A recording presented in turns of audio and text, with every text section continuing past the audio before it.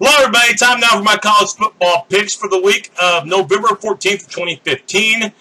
And every week I pick college football games nationwide, including all the Big 12 games, with the exception of the OU game, against the spread. And I go against the almighty coin. Now, the five cent piece, the nickel, well, it's decided to increase its artillery. So it doubled its strength. So this week, it's a dime. That's right, ladies and gentlemen. I'm going to go against the dime this week instead of nickel. But before me and the 10 cent piece pick games, let's review how I did last week. Well, you know, there's an old saying. Some days you're the dog, and some days you're the fire hydrant. And I was the latter last week. Yeah, I only won 4 out of 11 games. 4 and 7 against the spread, while the nickel did much better. 7-4 against the spread. So, entering this week, my lead has been reduced to 6. I'm at 58, 52, and 7 against the spread while the nickel is at 52, 58, 7. On with the picks. Okay, now we're ready for the picks. And we'll start in the Big 12. Oklahoma at Baylor, of course, for my pick on this game and my thoughts. Check out the weekly matchup show on this very page. Oklahoma State at Iowa State. The Cowboys 9 and 0 and riding high after their 20 point win against previously unbeaten TCU. You might be thinking, well, how's the Cowboys? How are they going to be motivated to play an Iowa State team that's below 500 and has a very bad pass defense. I think Mike Gundy could use one thing, at least one thing, to get the Cowboys' attention. Of course, the game four years ago where the Cowboys were undefeated and they lost in overtime to the Cyclones. But looking at the present, how about this? Oklahoma State only moved up to number eight in the college football playoff rankings. Some, including yours truly, thought they would have been higher. So maybe Oklahoma State shows the uh, committee, hey, we're better than number eight in the country. Give me the Cowboys minus 13 and a half. If the dime lands on heads, likes the favorite, tails, it's going with the underdog. And the dime this week is going to take going to take Iowa State. Kansas at TCU. Yes, speaking of the Horned Frogs, first loss of the season. They're a 44-point favorite at home, and I know TCU you know, I know that they're not undefeated anymore, and I know their wide receiver, Josh Doctson, there's injury issues there. However, you're playing Kansas, and Kansas hasn't won a game all year, and Kansas, you know, they don't cover spreads either. So give me TCU at home minus the 44, and the coin is going to take Kansas. You got Texas at West Virginia. A couple of teams, you know, trying to get to bowl eligibility. Texas has to win two of their last three to get there, and West Virginia um, not quite there yet as far as bowl eligibility, but they are at home, but it's a different team at home than they are away from Morgantown this season. West Virginia minus the eight. Yeah, I'm taking the Mountaineers. Give me West Virginia minus the eight points, and the coin is going to go with West Virginia. Kansas State at Texas Tech. Speaking of bowl eligibility, you know the Red Raiders look like they were well on their way there, but they have been, uh, you know, cement um, as far as uh, the win total goes five wins. They need to get one more. I think they get the job done against a K-State team that this is the worst Wildcat team we've seen since Bill Snyder's first year there. Give me uh, Texas Tech minus the five and a half, and the coin is going to take Kansas State. Moving on nationally, Alabama at Mississippi State. The Tide showed why they're one of the best teams in the country as they stopped Leonard Fournette dead in his tracks and they were impressive in prime time on Saturday against LSU. But now you got to get motivated to play on the road against a Mississippi State team that's better than what a lot of people might realize. Mississippi State's only lost two games this year, both on the road, and one of those losses was a two-pointer at LSU. Mississippi State might have the best QB in the conference in Dak Prescott, so this will be a hard game for Bama to not only get up for, but a hard game to play because Mississippi State can play. I think Bama wins, but I think it's a nail biter. Mississippi State, I'll take the Bulldogs plus the seven, and the coin is going to go with Alabama.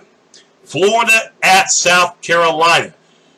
The Gators did not look good at all last week, at least offensively they didn't, against Vanderbilt. Now you go on the road against South Carolina, whom I don't think is too terrible of a team. Florida is getting um, giving seven and a half points in this game.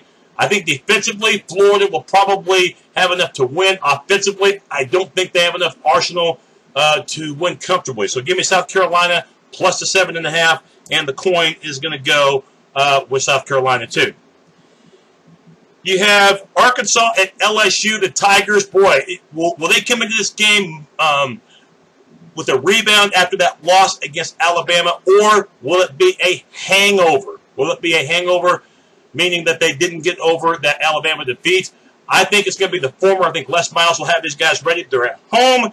Arkansas been playing a little bit better lately. Of course, an improbable win at Ole Miss, but Arkansas is going to need more uh, than a desperation play to win in this one. So give me LSU minus eight and a half, and the coin is going to go with Arkansas. Now, moving on, Memphis at Houston. We bring this game up because, you know, both these teams play in a group of five conference, uh, American Athletic Conference.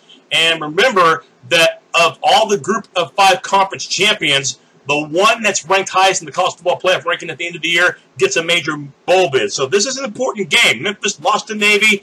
Houston still undefeated. Houston knows they got three big games coming up with this one, plus Navy November 27th at home, and possibly the AAC championship against Temple.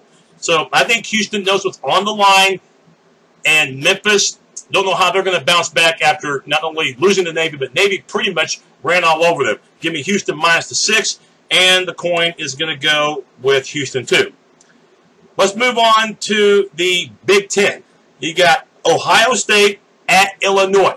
And it looks like JT Barrett will be back. It seems like they're so much better offensively with him than Cardale Jones. And both are real good quarterbacks, but it just seems like the offense clicks a little bit more with Barrett in there. He comes back after the one game suspension yeah, Barrett's stupid for uh, driving under the influence. But hopefully he's learned his lesson. Ohio State um, should be better this week with him on the field. Give me the Buckeyes minus the 17 at Illinois.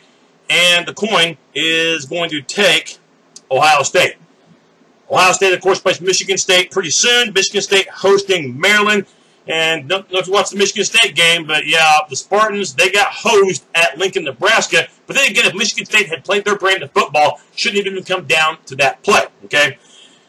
I think Michigan State will bounce back in a big way, knowing that, you know, they still have a shot at the Big Ten championship if they can uh, run the table. And Maryland, yeah, I'm not too secure about the Terrapins. So give me Michigan State at home minus the 18, with, of course, Ohio State looming ahead. Spartans minus the 18, and the coin is going to take Michigan State too. Tigers minus 26 and a half. I don't know how you can be motivated to play at Syracuse the week after you just won your biggest conference game of the year against Florida State. You got to go to the Carrier Dome to play the Orange. Clemson, yeah, they'll have enough talent to win, but emotionally, I don't know how jacked up, if they're going to be jacked up really to be ready to play this game. Clemson to win, but Syracuse to cover. Give me the orange minus the 26 and a half.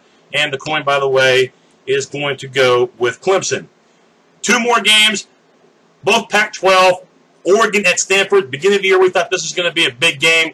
Instead, it's big for only one team, and that's Stanford, because if they run the table, meaning they can win out, beat Notre Dame at the end of the year, and win the Pac-12 championship, pretty good chance that Stanford will grab a college football playoff spot. So they know what's on the line.